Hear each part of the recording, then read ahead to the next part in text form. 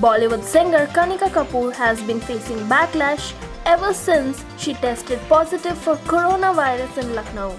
She was slammed for escaping home quarantine, attending social gatherings, and putting the lives of others in danger. But now it seems like that her medical reports might be false, and it's not us but her own family members hinting.